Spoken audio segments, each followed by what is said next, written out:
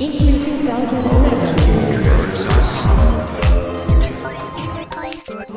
A famous explorer once said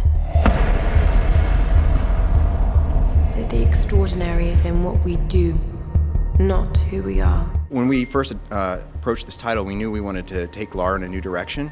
Uh, but at the same time, we wanted to keep something that you'd recognize instantly as Lara Croft. So that was our challenge. How do we make Lara instantly feel familiar yet fresh at the same time?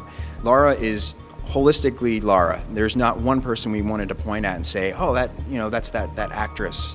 Um, but we, she is a composite of different influences, of which were you know some famous, some not. I think that was one of the big you know differences of uh, how we approached uh, Lara this time was we really wanted her to feel as believable as possible. So I think most people when I've when I've uh, talked to them, they say, I, I, I think I know her, but they can't quite place her, and I think that's the perfect place to be. I think people want and now believe that this is the new Lara, and it's really kind of exciting. In our darkest moments, when life flashes before us. We wanted to tell an origin story, and that means that Lara's going to be younger. She's 21 in this adventure. She's right out of school, and she's on her first adventure. Uh, that was a unique opportunity for us because we knew she had certain skills still that we wanted to rely on. You know, she had a she had a background that's very familiar to a background she's had before. But at the same time, she won't have gone through all the myriad of adventures she has in the past. And that combination of that that enthusiasm to start an adventure and the will to want to do something, and then being you know, put in a situation where she has to survive was a pretty electric combination of elements, and uh, we're really excited about what is, how it's going to come through in the story. The things that we knew we wanted to keep, you know, there's certain aspects that we wanted to keep from Lara, the, the ponytail, the accent, the eyes. There are things that you want to, you, you look at her and you go, that feels like Lara Croft.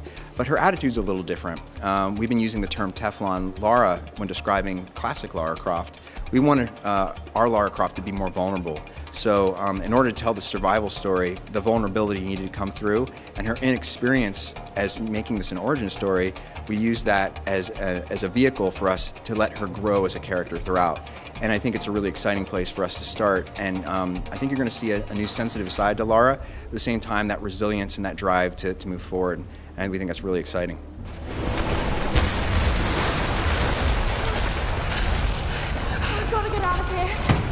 Everything's driven off of the, the goals of the title, and the goal is to, to tell a survival adventure. So the, the tone of the, of the title is reflected in that. So we have a, a decidedly darker and grittier look that we, uh, that we knew we wanted to achieve. And that goes everything from color palettes to the style and treatment of surfaces, all the way through to uh, how we treat Lara. I mean, Lara is going to get you know, she's going to get dirty, she's going to get injured and hurt. And all that, th all those experiences are reflected on her character, not only surface qualities, but in her performance. So she's going to react to this world in a very visceral way. But we've also put a lot of time and attention into um, the, the, actors and actresses that we've cast to, to play these characters, and we've done full performance capture these, uh, this full performance capture allows us to, to get not only one person's performance, full body, face, but it, multiples together. So they're really acting together in a scene, and you really feel those bonds between characters. It really pushes the emotional quality of the performances to the next, to the next level for our studio. Help you!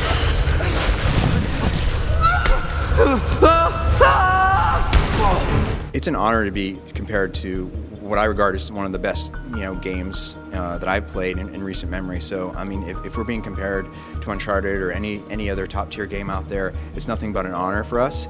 Really, at the end of the day, we're just trying to make the best Tomb Raider game we can, and that's our focus through and through. Is, is we, we try to, to be aware of the competition, but we try to do what we think is best for the game, and that's what drives us. So expect to see Tomb Raider fall of 2012 on uh, Xbox 360, PlayStation 3, and PC and uh, check out more information on the E3 floor. Thanks a lot.